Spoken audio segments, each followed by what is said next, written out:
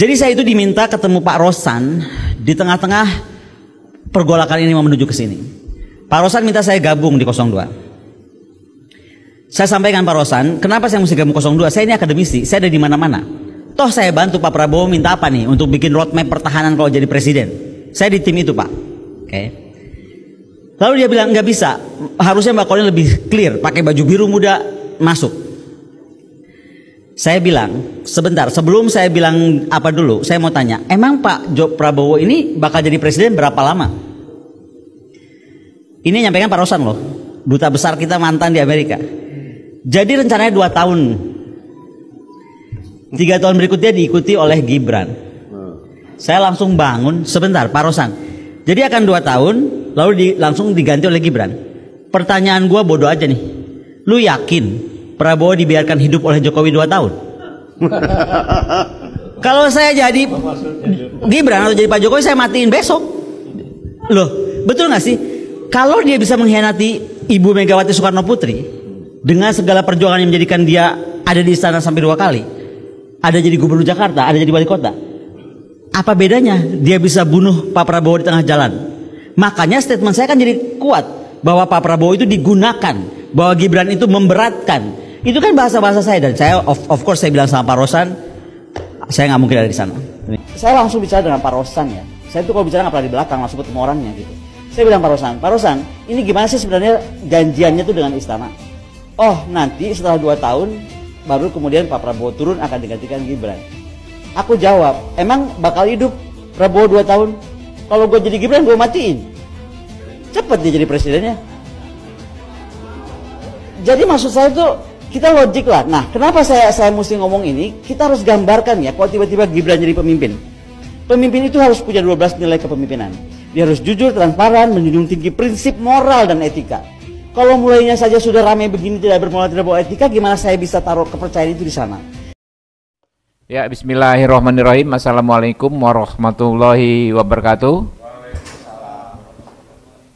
Uh, salam sejahtera rekan-rekan. Terima kasih sudah hadir di acara hari ini. Ya, kita akan mendengar penjelasan dari Pak Ketua TKN Prabowo Gibran, Pak Rosan Ruslani terkait uh, apa yang beredar beberapa hari ini soal pernyataan uh, saudari Koni Raha Kundini Bakri ya yang kurang lebih menyampaikan narasi seolah-olah Pak Rosan menyatakan sesuatu yang tidak benar terkait uh, apa namanya Pak Prabowo uh, yang disebut hanya akan menjabat selama dua tahun ya sudah hadir ya Pak Rosan teman-teman tahu ada Pak Fritz, ada Pak Maulana Bungaran dan Pak Munasir Musaman. Pak Maulana dengan Pak Munasir ini dari advokasi dan hukum. Mungkin langsung aja Pak Rosan. Assalamualaikum warahmatullahi wabarakatuh. Salam, Om Swastiastu, Namo Buddhaya, Salam Kebajikan. Uh, pertama-tama terima kasih kepada seluruh teman-teman media yang telah hadir pada siang hari ini di masa tenang ini yang di mana musinya adalah masa-masa tenang, tetapi karena hari uh, pagi ini begitu uh, saya mendapatkan banyak uh, ini uh, WA masuk ke saya yang bertanya mengenai hal ini karena beredar di banyak sosial media.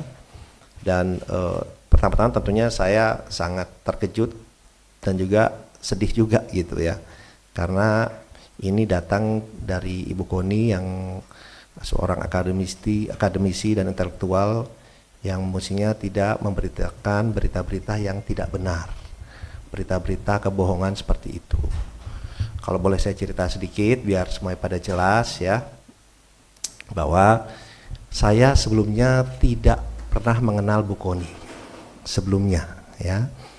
Saya tidak pernah mengenal Bu Koni kemudian uh, saya dikontak oleh ketua tim media Pak Prabowo bahwa uh, Bu Koni ingin bertemu dengan saya. Saya tanya untuk apa? Untuk dua hal. Satu ingin bergabung dengan uh, tim Pak Prabowo dan Mas Gibran. Dan juga ada uh, aspirasi pribadi beliau. Saya bilang ya kalau ada orang mau bergabung tentunya saya selalu terbuka ya kan. Dan kemudian beliau didampingi oleh ada satu orang lagi saya lupa, kemudian oleh uh, ketua tim media Mas Angga datang ke kantor saya. Itu bulan November akhir, ya, bulan November akhir datang ke kantor. Kemudian beliau bilang apa yang disampaikan beliau ini bahwa beliau memang ingin bergabung kepada tim TKN ingin bergabung ya tentunya saya menyambut baik tapi beliau juga menyampaikan bahwa beliau ini bingung juga karena selama ini sudah menjelek-jelekan oh, Mas Gibran terutama ya Pak Jokowi tapi terutama Mas Gibran dan uh, banyak ya yang di, yang diucapkan oleh beliau yang mungkin saya tidak sampaikan di sini karena uh, agak kasar ya mengucapkan mengenai Mas Gibran ya.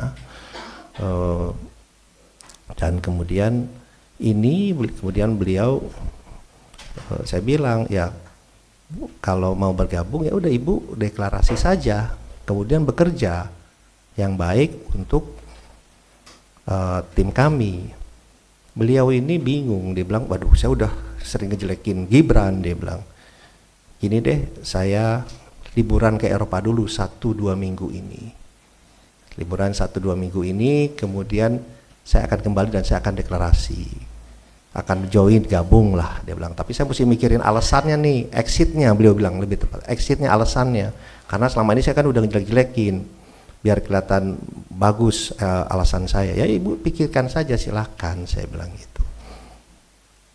Uh, dia bilang oke okay. dan beliau apa ibu Koni juga mau ketemu Mas Gibran. Saya bilang ya kalau ibu sudah menyatakan dukungan ya oke okay, nanti saya atur ketemu dengan Mas Gibran. Dan saya sempat sampaikan juga itu ke Mas Gibran. Oke okay. yang pertama. Kedua pernyataan yang dua tahun itu bukan datang dari saya. Gitu Beliau menyatakan ini gimana kok sudah dua tahun? Atau mungkin lebih cepat kalau ini pernyataan beliau ya. Kalau tiba-tiba Pak Prabowo kalau kalau saya ini orang intelijen saya bilang bisa aja Pak Prabowo diracun dia bilang itu bisa lebih cepat. Itu gimana? Saya bilang Bu udah hitungan itu tidak pantas. Ya udahlah itu Bu jangan di eh, kita sih tidak ada pikiran seperti itulah janganlah gitu. Ini pernyataan beliau gitu bukan pernyataan saya. Jadi saya apa kemudian uh, apa beliau menyampaikan seperti itu dan alhamdulillahnya di meeting itu bu bukan hanya saya berdua tapi ada empat orang ya. Ada satu orang dibawa oleh Ibu Koni ada satu orang lagi yang ketua tim media Pak Prabowo.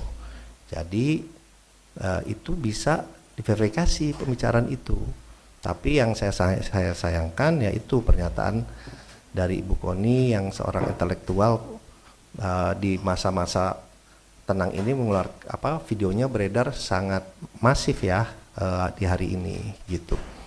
Ya kami pun melihat bahwa banyak di akhir di masa-masa tenang dan di saat-saat ini juga banyak sekali berita-berita hoax, berita-berita yang tidak benar, isi fitnah yang di, yang ditujukan kepada Pak Prabowo pada tim dan juga ternyata sekarang kepada saya. Ya, itu yang itu yang pertama. Kemudian dan yang kedua adalah oh, sebelum pulang Bu Koni bicara ke saya. Kita bicara apa berdua. Intinya beliau ternyata ingin menjadi wakil menteri luar negeri permintaan beliau atau Wamenhan tapi lebih pengen jadi wakil menteri luar negeri. Saya bilang bu itu bukan domain saya. Tapi kalau ibu bekerja ibu ke Pak Prabowo mungkin ada penilaian lain itu prerogatif Pak Prabowo. Silakan disampaikan ke beliau. Jadi itu apa keinginan dari Ibu Koni yang disampaikan saya ingin menjadi wakil menteri luar negeri keinginannya atau Wamenhan, tapi lebih ke Wamenlu. Beliau menyatakan dengan pengalaman beliau dan yang lain-lain itu seperti itu. Saya bilang silahkan saja di, nanti disampaikan. Jadi itu yang bisa saya sampaikan ya. Ya kembali lagi eh, kita kan ingin memberikan selalu edukasi ke publik yang baik, yang benar, ya kan. Uh, ya hal-hal seperti ini saya sih menanggapinya pas saya dikasih tahu ya saya sih senyum saja bilang ya ini fitnah seperti ini ya pastinya bermunculan lah pada saat-saat seperti ini. Tapi saya disarankan oleh tim uh, legal kami ada Pak Habib dan yang lain bikin apa konferensi pers kasih tahu apa adanya kasih tahu kebenarannya uh, supaya masyarakat dan publik ini juga tahu gitu ya dan mungkin publik juga tahu teman-teman mass media uh, juga bapak-bapak ibu media paling tahu saya itu paling hati-hati berbicara. Apalagi saya berbicara kepada orang yang baru saya kenal ya. Jadi itu yang bisa saya sampaikan bahwa beri, uh, di sosial media yang beredar itu adalah menurut saya saya sayangkan dan saya sedih juga ada berita seperti itu yang dikeluarkan oleh seorang intelektual. Terima kasih